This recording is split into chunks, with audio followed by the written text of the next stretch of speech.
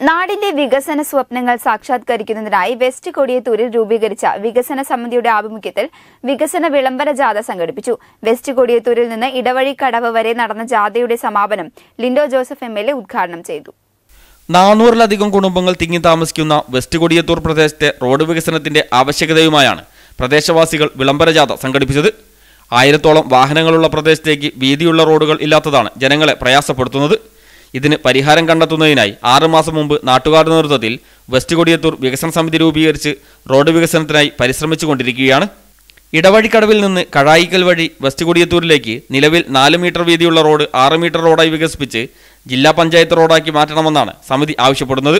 തീരദേശ റോഡിനായി ഒന്നാം ഘട്ടത്തിൽ ഇടവഴിക്കടവ് മുതൽ പുതിയോട്ടിൽ തൂക്കുപാലം വരെ പുഴപ്പുറമ്പോക്ക് തിട്ടപ്പെടുത്തുന്ന പ്രവർത്തനം സ്ഥലമുടമകളിൽ നിന്ന് സ്ഥലം വിട്ടുകിട്ടുന്നതിനുള്ള പ്രാരംഭ പ്രവർത്തനങ്ങൾ എന്നിവ ഇതിനകം പൂർത്തിയായി കഴിഞ്ഞു. ഇടവഴിക്കടവ് കഴായിക്കൽ വെസ്റ്റ് കൊടിയത്തൂർ റോഡ് വീതി കൂട്ടുന്നതിന് സ്ഥല ഉടമകളുമായി ആദ്യഘട്ട ആശയവിനിമയവും പൂർത്തിയായി കഴിഞ്ഞു. തുടർന്നുള്ള വികസനത്തിന് നാട്ടുകാരെ പാകപ്പെടുത്തുന്നതിനാണ് വെസ്റ്റ് കൊടിയത്തൂർ മുതൽ ഇടവഴിക്കടവ് വരെ വികസന വിളംബര ജാഥ സംഘടിപ്പിച്ചതെന്ന് സംഘാടകർ പറഞ്ഞു.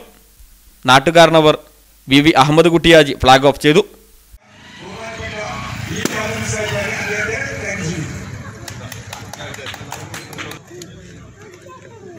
വിളംബര സാധ്യത ഈ വൈത്താരങ്ങളെ മുളകമണിയിച്ചുകൊണ്ട് ഈ വാഹനത്തിന് തൊട്ട് പിന്നാലെ നാട്ടുകാരന്മാരുടെ ജനപ്രതിനിധികളുടെ നേതൃത്വത്തിൽ ഇതുവഴി കടന്നു വരികയാണ് ആശീർവദിച്ചാലും അനുഗ്രഹിച്ചാലും പ്രിയരെ സമാപന സമ്മേളനം Lindo Joseph M L A ഉദ്ഘാടനം ചെയ്തു. ചുരുക്കി പറഞ്ഞാൽ ഒരു വീട്ടിൽ രണ്ടോ അതിലധികമോ വാഹനങ്ങൾ വെസ്റ്റ് കൊടിയത്തൂർ പ്രദേശത്തുകാർക്കുണ്ട്.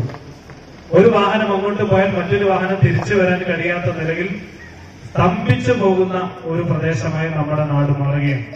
ഒരു മരണം വന്നാൽ ഒരു വിവാഹം വന്നാൽ ഒരു സന്തോഷകരമായിട്ടുള്ള ഒരു കൂട്ടായ്മ വന്നാൽ നമുക്ക് സഞ്ചരിക്കാൻ കഴിയാതെ നമ്മൾ കുടുങ്ങി നിൽക്കുന്ന സാഹചര്യം ഒരു നാടിനുണ്ടാവുകയാണ്.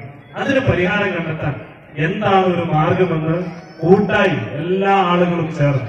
അതിനെയാണ് വളരെ അഭിമാനത്തോടു കൂടി പറയുന്നത്. വികസന കാര്യത്തിൽ രാഷ്ട്രീയമില്ലാതെ മറ്റ് വ്യത്യാസങ്ങളൊന്നുമില്ലാതെ എല്ലാവരെയും ചേർത്ത് നിർത്തി അത് കൃത്യമായി മനസ്സിലാക്കി. എന്താണ് പോംവഴി എന്ന് മനസ്സിലാക്കി?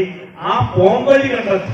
ഏറ്റവും ആദ്യം അങ്ങനെയാണ് വെറുതെ യോഗം ചേർന്ന് അതിനുവേണ്ടി ഒരു ജാഥ നടത്തുന്ന രൂപത്തിലല്ല വഴി ആദ്യം കണ്ടെത്തി. ഇന്ന സ്ഥലത്തു നിന്ന് എം ടി റിയാസ് അധ്യക്ഷനായി കൊടിയത്തൂർ ഗ്രാമപഞ്ചായത്ത് പ്രസിഡന്റ് വി ഷംലൂലത്ത് ജില്ലാ പഞ്ചായത്ത് അംഗം നാസർ എസ്റ്റേറ്റ് മുഖ് എന്നിവർ മുഖ്യാതിഥികളായി.